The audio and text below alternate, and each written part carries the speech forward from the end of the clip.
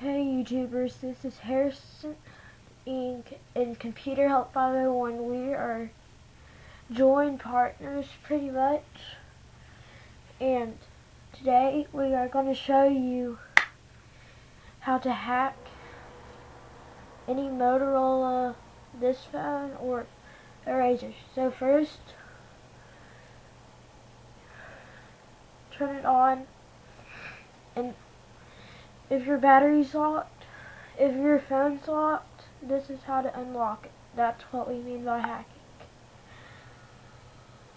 Okay, so let's load it up.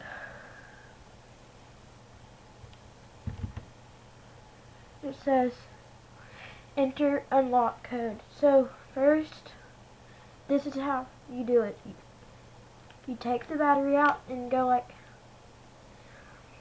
you make sure the power goes out when you're doing it.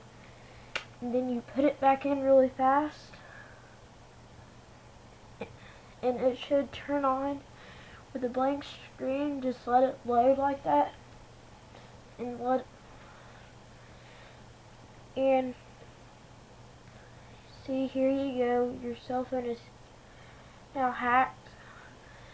And you should be able to do this on any Motorola phone. It doesn't matter if it's locked when you turn it on or anytime when it's locked. That's how you do it, and we'll see you next time.